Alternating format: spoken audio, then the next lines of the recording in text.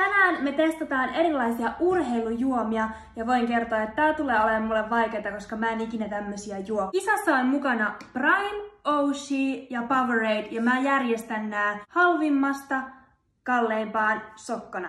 Eka testissä. Maistuu marjalta. Maistuu keinotekoiselta. Aika tujua. Paljon makeusaineita.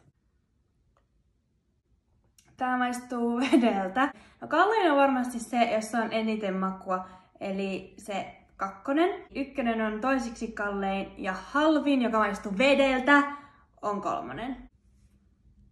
Oikein meni! Mä arvasin kalleimman ja halvimman tuotteen ja voittajaksi suoriutui Prime, koska tää on se kallein. Kyllä mä luksuksen tunnistan. Mutta oliko se hyvää? No ei, mutta se ei ollut se kysymys.